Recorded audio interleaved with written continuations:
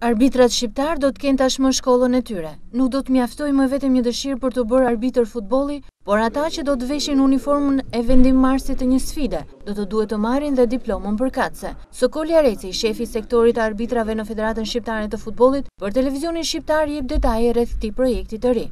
Kjo është një një një shkollë, themi që ka ekzistuar dhe në të shkuarën, por nuk ishte thjesht në në në aspektin e e ose në kontekstin e akademisë do të ishte e përqendruar.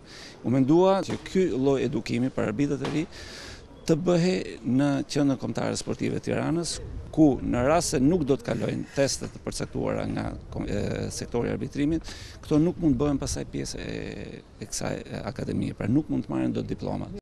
Futbolli në Shqipëri është një sport i dashur dhe tepër i përhapur. Në to po aktivizohen jo vetëm meshkujt po dhe femrat. Madje disa guxojnë dhe më tej, do të bëhen arbitre. Fjoralba Beqiri është një prej tyre.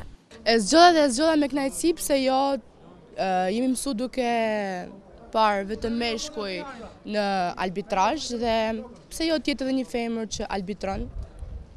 Ndoshta ne femrat mund t'jemi edhe më t'afta, nuk i dihet. Të gjithë të interesuarit për të ndjekur kursin për arbitër futbolli do të plotësojnë fillimisht formularin përkatës dhe më pas do të ndjekin kursin në Universitetin e Sporteve në Tiranë.